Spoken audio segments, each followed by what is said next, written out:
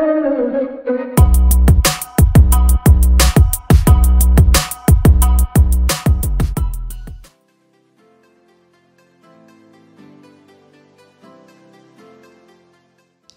ragazze, benvenute o bentornate sul mio canale. Oggi vi mostrerò il video su come vado a realizzare queste tre eh, nail art. Ho fatto tutto praticamente tranne l'unicorno.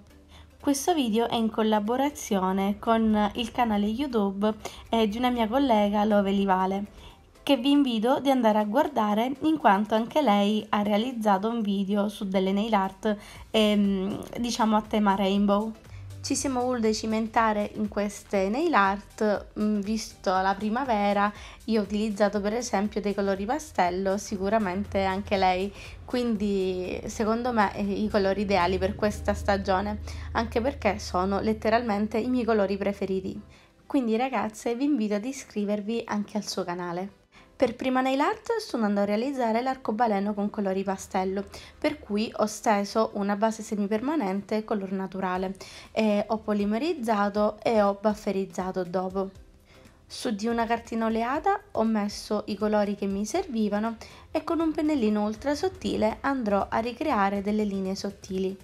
In totale farò due linee per colore, però naturalmente voi potete anche eh, farne una per colore e poi ricominciare da capo una volta che avete finito il cerchio diciamo. Quello che vi consiglio io ragazze, ogni qualvolta andrete a finire una linea, andare a bloccare il colore in lampada per 10 secondi, in modo che se doveste sbagliare eh, non andrete a cancellare anche la linea precedente.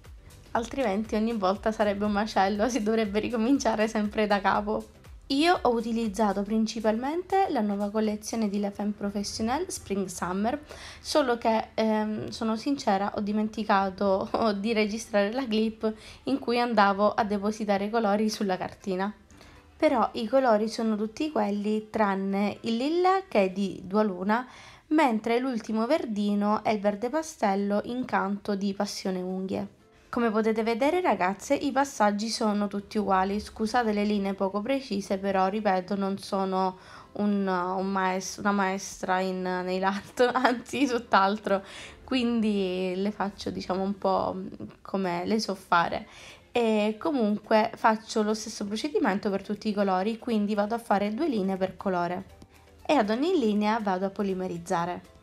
Approfitto di questo tempo che vi mostro uh, la nail art e per ricordarvi, se non l'aveste ancora fatto, di iscrivervi al mio canale YouTube e di seguirmi sui miei social in modo da rimanere sempre aggiornate sulle anteprime dei video che usciranno. Ed ovviamente ragazze, se avete qualcosa da chiedermi, qualche dubbio o volete sapere qualcosa, eh, mi mandate un messaggio, senz'altro risponderò a tutte quindi qui giù nell'info box vi lascerò il link di Instagram e Facebook. Finito il tempo di polimerizzazione, questo sarà il risultato finale. Io vado a prendere una polvere aurora e la vado a picchiettare e a passare su tutta la nail art in modo da renderla un po' più unicornosa. Eh, scusate, io uso spesso questo termine perché veramente io amo gli unicorni. Naturalmente, dopo aver passato, dopo aver applicato la polvere aurora, andiamo a risigillare.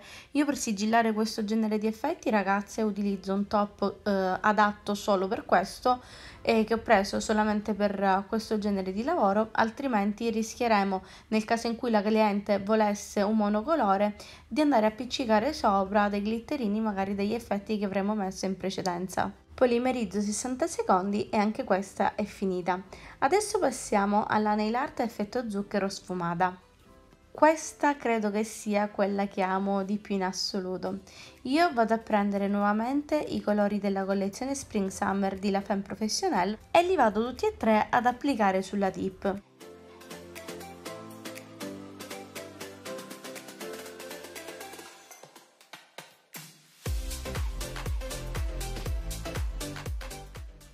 Ragazzi, onestamente io le avrei lasciate anche in questo modo perché eh, sembra un gelato praticamente. Comunque, ad ogni modo vado a prendere il mio pennellino per le sfumature e inizio a fare dei movimenti da destra verso sinistra per andare a mescolare i colori. Ogni tanto vado a pulire il pennello in modo che non si sporchino i colori piuttosto che eh, mischiarsi. Io non so come voi ragazze fate lo shade, però io mi trovo veramente bene con questo metodo. Una volta che sono soddisfatta di questo risultato vado a mettere in lampada 60 secondi e vado dopo a passare eh, nuovamente il colore e rifare la sfumatura. Quindi andiamo nuovamente a fare gli stessi passaggi che abbiamo fatto prima. Applico nuovamente il colore sulle tre sezioni della dip e rifaccio la mia sfumatura.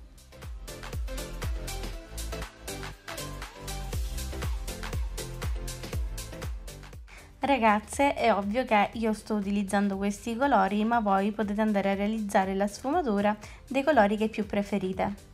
I vostri colori preferiti invece quali sono? Perché non me lo scrivete qui sotto nei commenti?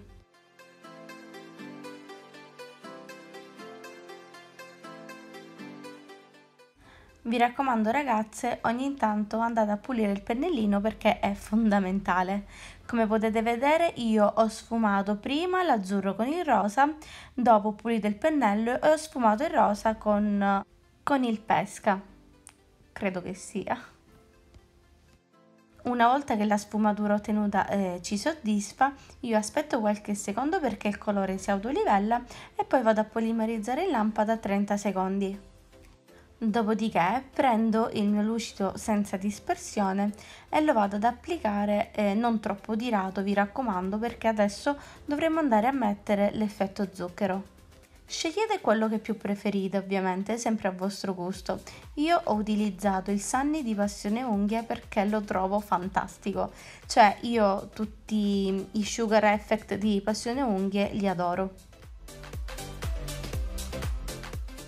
Con uno spingicuticole comincio ad applicare il prodotto sul, sul sigillante non polimerizzato in modo che eh, si attacchi perfettamente. Vi raccomando ragazze di non lasciare assolutissimamente parti scoperte altrimenti una volta polimerizzato mh, mm, sarà un brutto effetto da vedere non vi preoccupate, eh, mettete più quanto prodotto possibile e se è il caso mettete anche un foglio di, di carta sotto in modo da poter recuperare il 100% della polvere così non ci saranno sprechi. Io mi assicuro ovviamente che non ci siano delle parti scoperte, infatti immergo anche la dip. E molto spesso faccio anche così con la cliente, e faccio mettere la punta eh, dentro il glitter così sono sicura che sarà ben coperta. Vado a togliere l'eccesso picchiettando la tip e ragazze guardate che effetto meraviglioso. Io in modo che l'effetto zucchero duri di più col polpastrello vado a picchiettare così il glitterino affonderà sul sigillante non polimerizzato. Dopodiché 60 secondi in lampada e con un pennellino morbido vado a togliere l'eccesso e anche questo effetto è finito. Ragazze, riprendo nuovamente questi colori, sì, utilizzo di nuovo questi perché li amo veramente con tutta me stessa. Riesco a fare le sfumature dei colori che più mi piacciono, essendo pastello li adoro. Non so se avete lo stesso mio problema, però ragazze, con questi pelucchi che sono praticamente ovunque sono fastidiosissimi anche perché se non ce ne accorgiamo e andiamo a polimerizzare si, ver- si vedrà quel pelucchio oh, in rilievo che è veramente bruttissimo. Una volta applicato il colore andiamo a riprendere il nostro pennellino per le sfumature e andiamo a creare anche in questo caso una sfumatura facendo sempre dei movimenti dall'alto verso il basso e dal basso verso l'alto in modo che i colori eh, si mischino per bene.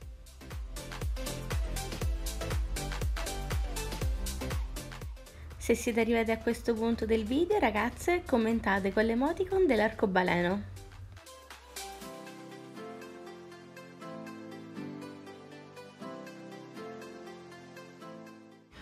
Ottenuto l'effetto desiderato, andiamo ad aspettare qualche secondo, il tempo che il colore si autolivelli, andiamo in lampada 30 secondi. Dopodiché ripetiamo nuovamente quello che abbiamo fatto prima, quindi mettiamo nuovamente i colori e col pennellino per le sfumature sfumiamo di nuovo in modo da intensificare eh, il colore.